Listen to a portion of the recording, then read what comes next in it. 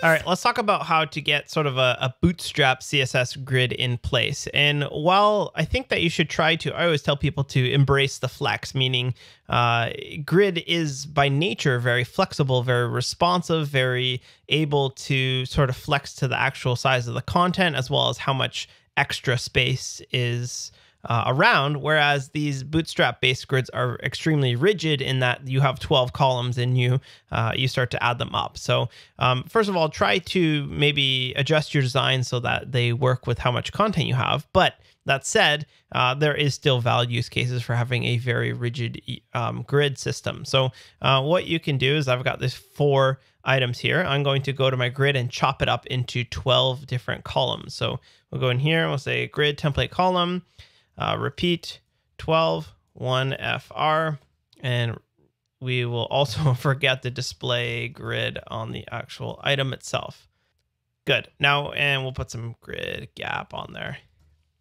Beautiful. Now we've got 12 different columns, each one uh, eating itself up. Now I'm going to show you one little like bug that I ran into. I'm not sure if it's a bug or by design or, or whatever, but if one of these things has like Wes Bos in it and it's a bit wider, you'll notice that now they are not equal because what does FR stand for? Free space, right?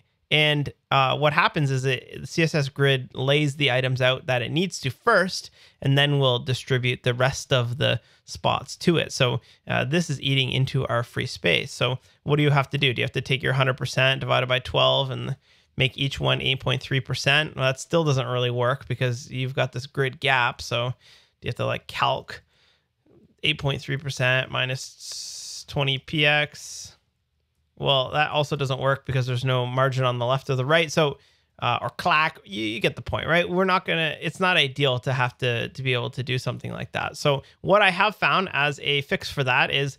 Uh, either you can go onto your item and give yourself a min width of zero, and that will make each one uh, actually the the same size, and then you can deal with any overflowing text or whatever um, accordingly, which is great. Or um, and let me just double check that looks the same in Chrome. Yeah, so it works in Chrome as well. Um, but I think ideally you would do something like this instead. So let's bring back that actual error here.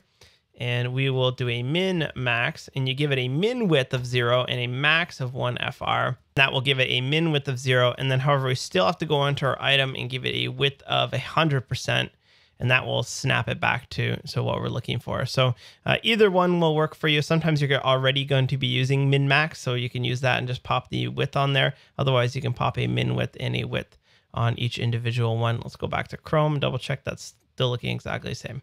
Good now that we have this, um, what we can do is we can start to go spanning our, our different items. And uh, one cool way that we could do that is with CSS variables. So you could make like a whole grid framework, and I'm sure there will be lots of frameworks announced where you have like like span three or something like that, and that will span three for you.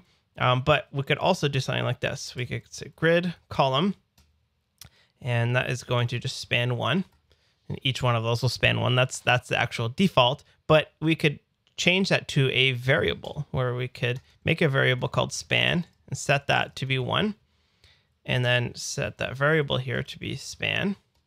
And then in each of your items, you can overwrite that variable with an inline style attribute. You could say something like dash dash span three and then it's going to override that span variable on the item and it's going to kick in uh, to there. So whatever you feel like, I think some people still might prefer just a nice clean class of span three, um, but it's kind of neat that you can also use CSS variables in order to to uh, dice it up. Similarly, you could also use that on your grid where you say style, and then you could say dash dash cols is equal to 10. And if I only wanted 10 columns, I could go into here and I could then say right here, var dash dash cols.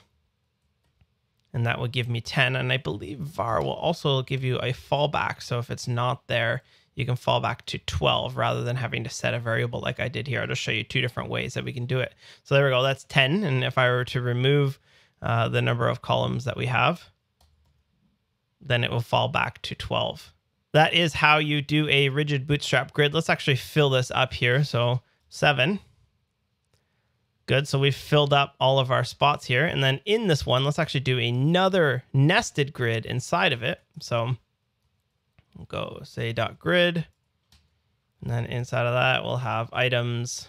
Maybe we'll say style equals dash dash cols two. Item times two, one, and two.